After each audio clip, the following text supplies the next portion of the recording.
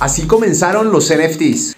En 2012, después de aparecer Bitcoin, nace Colored Coins, que eran básicamente pequeñas unidades de Bitcoin que se usaban para representar, manejar o transferir propiedades. En 2014 aparece Counterparty, la plataforma de código abierto dedicada a descentralizar el intercambio de activos. En 2015 aparece el primer videojuego desarrollado sobre blockchain, Spells of Genesis. En 2016 los memes se mueven a la blockchain gracias a Rare Pepe.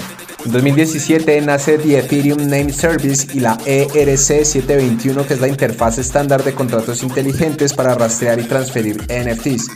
Además aparecen en escena los CryptoPunks, los CryptoKitties y OpenSea, el marketplace de NFTs que casi desaparece por falta de ventas y hoy está valuada por 13 billones de dólares.